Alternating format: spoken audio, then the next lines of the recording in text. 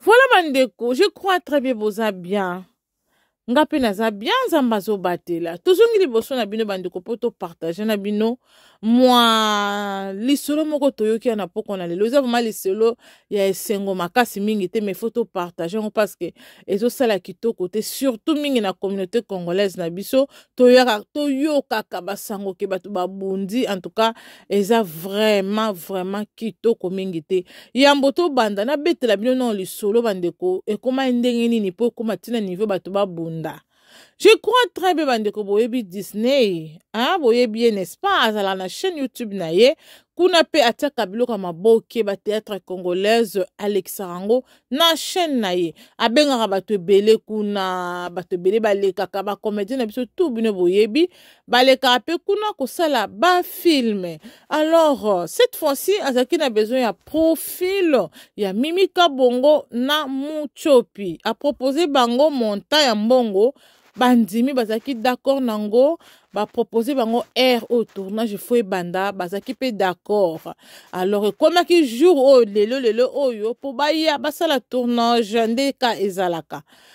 babengi mutiopi mutiopi aye babengi mpe mimi kabongo mimi mpe kabongo aye na tournage sikoyo esali ke bakutani bango mibale mimi kabongo na motiopi nzoka nde bango mibale depuis kala bayokanaka te bazalaka na mwa baantecedent na bango bazalaka na bamwa bakoyokana te na bango bazalaka na mwa ba eh, makambo ya ccccc donc koyokana mpenza entre bango mibale ya solosolo ezalaka vraiment te sikoyo esali ke bakutani na tournage ya disney mimi kabongo bino mo boyebi ye la fille de ouf alobaka na ye alobaka na ye ye abombaka te ntango amoni mutsopi ayebisi ah yo nalukisaka yo eh. lelo tokutani en tout cas soit yo otikali awa soit ngai nakei ou soit lelo nde lelo sikoyo moto mpe le afana na ye mpe kimia te arépondre mpe mimi ka bongo ayebisi pourkui oyebisa nga bongo biso mibale toya batravaille toye mosala oza na droit te ya koyebisa nga ke soit yo soit nga soki yo olingi te okende me nga comme bafuti nga deja mbongo na nga nakotikala awa na kotourne filme ti na suka e eh, mimi kabongo atali moto mpe ayebisi ya bi o oh, yo okorepondre nga bongo te oyebi deja ke nakanela yo moto mpe ayebisi nga okanela nga na nini ngai osala eloko nyonso tokosala e eh, moto mpe akanisaka yango bajeti atala ka boye pat moto epakwei na se bitumba ebandi wana bandeko na ngai na disney olio alongola komi obenga bato leta abengaka bato koto deja bitumba ya grave si je dis bitumba bitumba donc bato babundi ya kosakana te bomoni kaka foto natyeli bino wana nde esika oyo moto mpe azwi mwa bacrèche na elongi wana donc babundi c'est déporable bandeko na nga ezalaka nini yango na bacomédien na biso eza vraiment déplorable makambo ya boye tokoya kolobelaka yango te na kati ya réseau sociaux en fait mais toolobela yango mpo toza na besoin bizaleli oyo ese repetaka mingi te na kati ya communauté congolaise na biso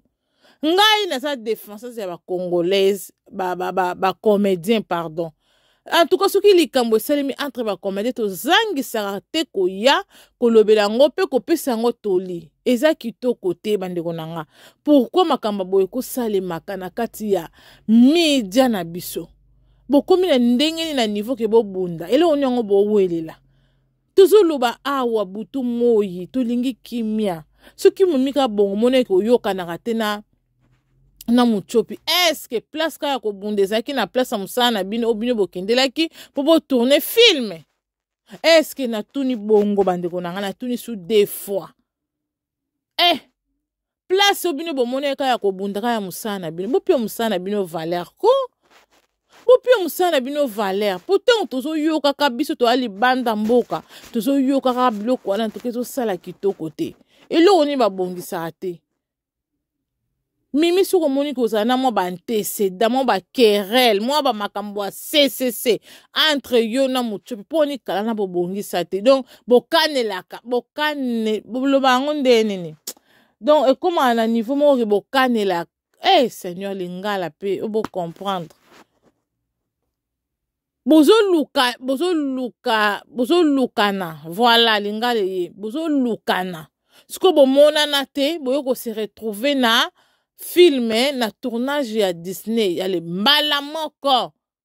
kosimbana na nzoto ebandi bitumba ezalaka bien te bandeko nanga fo botika biloko wana en plus boza basi basi nde tozalaka boye tozala na biloko mosusu na nzoto na biso elingaka shok te okoya kobeta motu mabe obeti na matrice matrice epasukaka lokwa eloko apema omemi ngambo e mimi kabongo omemi ngambo je te dis la fille de rouf wana tokolobelaka yo su te ekomaki e eh, bakanga ye akóma na prison ozomona bakanga ye akota boye inutile ya kobunda basi babundaka te basi bafandaka basololaka e bitumba ezala ya basi te ezala baa mibali franchement soki bokomi na niveau ke oyo asali ngai mabe oso oyo abetisa ngai libaku bokóma na niveau bofandaka bosolola bobongisaka esala bie bomona ke mambo ebele makasi ekochange na kati ya media ya congo na biso ekochange makasi hmm? pourkui kobunda kobunda eza na ntina te ezalaka point moko ya faiblesse ezala mpona bato bazalaka faible oyo bakokaka kosexprime ko te sukasuka na bango ekomake babunda bobundaka te basololaka mpe bino na bino boa bandeko boa bacongolaise bokóma nao na niveau wana ndenge nini boyebisa nao biso bokóma na niveau wana ndenge nini Hein? Oh, nalingi natyela bino lolenge motu mpe azoloba na ndenge baya ko bitumba ebandaki azoloba me na kati wana eza video hein, me nalingi kotya video wana te mpo youtube alingaka te mwa baagressement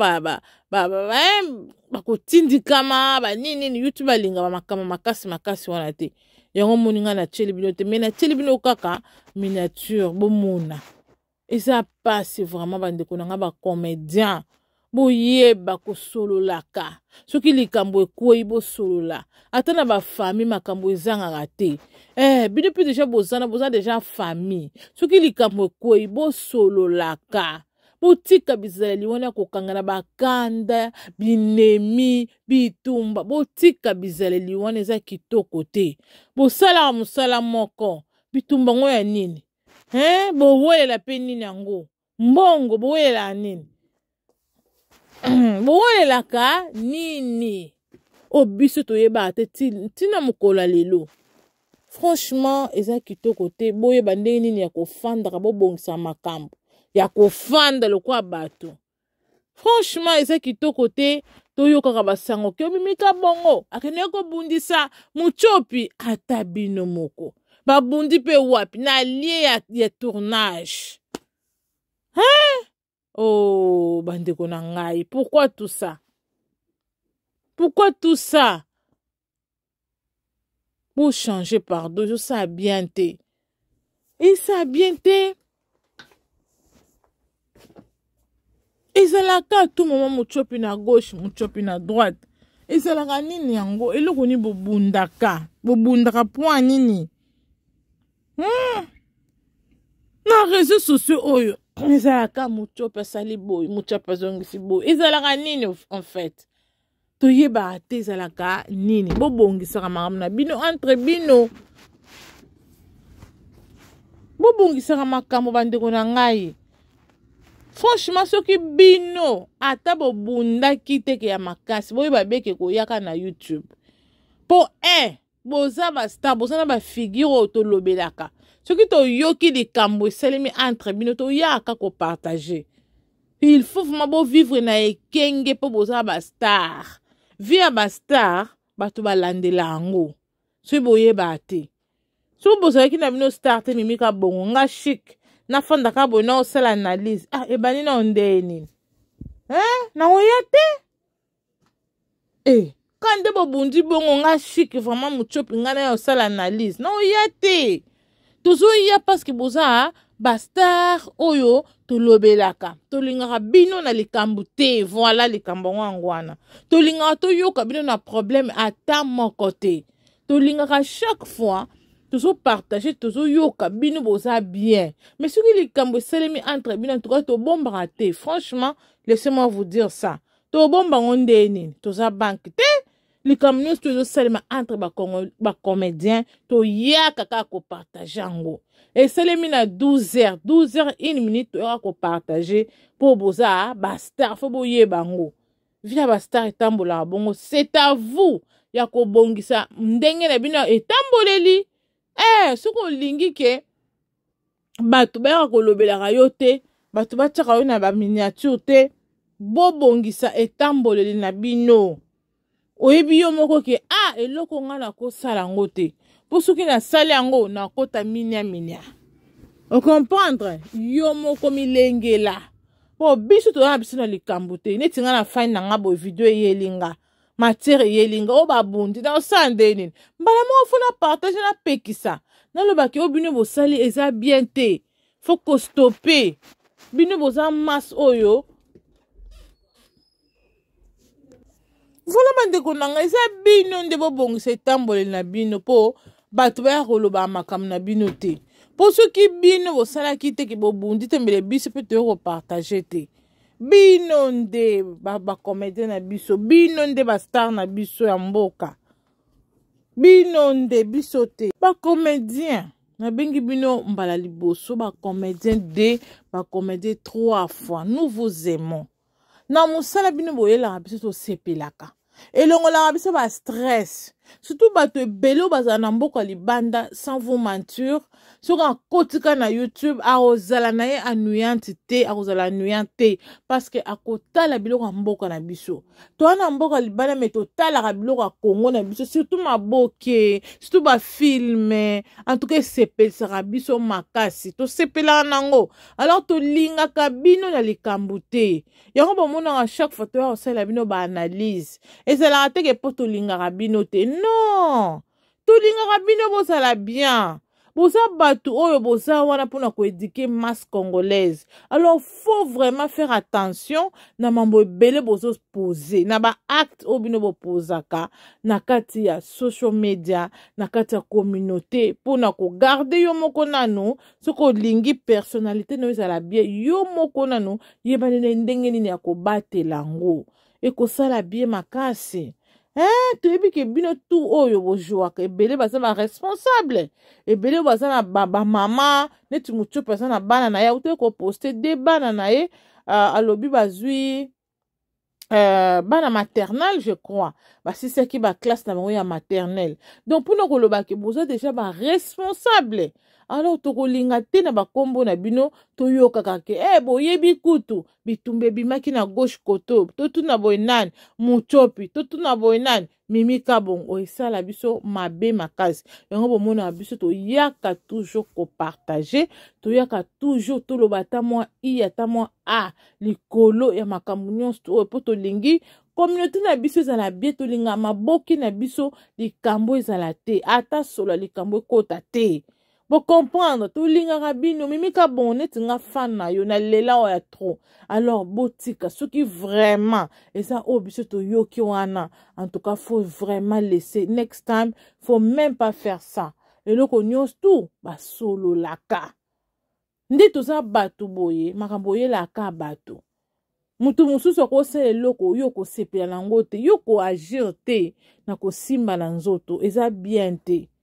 kosimba na nzoto ezalaka bien te mpa nzoto bato mosusu ezalaka fragile yo okanisi na bete ka boye eza nango eh, shok ya makasi te me oyebi te moto na ntango mosusu aa na problème nene na nzoto ya depuis kala yo ntango kolanse ka likofi na nzoto na ye boye omemi ngambo faut faire attention bandeko na ngai tokomi okende na bafin de lane bitumba ya nini okoki kobeta likofi yo obeti no kaka na pete boye nzoka nde eke kuna etumboli makambo oyoki kuna bamemi na hôpital oyoki kuna ekomi complication oyo oh, bitumba banda ekobeta liso esali boye liboko esali boye likolo esali boye okomi koregrete faut pas faire ça ezalaka bien te bandeko na nga bitumba ezalaka bien te surtout bana basi nde kaka na uta ekoloba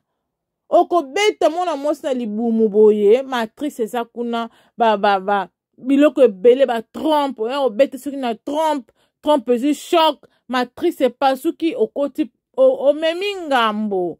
je vous dis la vérité omemi ngambo ee eh. faut pas faire ça babundaka te basololaka bato basololaka botika bizaleli wana ya bitumba eboke na bitumba ngo wapi sikoyo ntango yo okomonaki a ah, ngai nde na gagne ye après okozwa trophée to kozwa ceinture eloko te okozwa bareputation nde ezobeba bareputation nde boyeba nde kobatela yango te reputation eza lokola liki liki osimba yango avec beaucoup de tendresse avec beaucoup de e eh, bokebi soki ekwei epasuka te nde reputation une fois bafoue yaya ata otie kabelo kobanda awa ti na likolo kuna moto akomono aza te soki une fois reputation ebebi yaya ebebi okoki koya na émission osala baémission ata nkama réputation ezonga te ebebi ebebi c'est le moment bandeko na ngai bacomédien boza nao bajeune toboyi te toboluka lare na bino na gauche babengi okei na droite okei ozoluka okotaka mwa cweke mais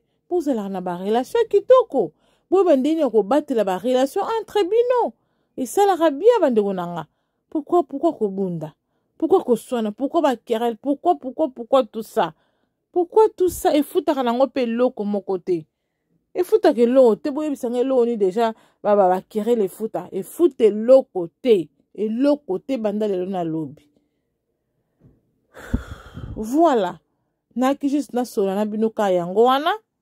soki vraiment eza mbala ya yambo okota na chaîne youtube na biso nakosenga no papa mama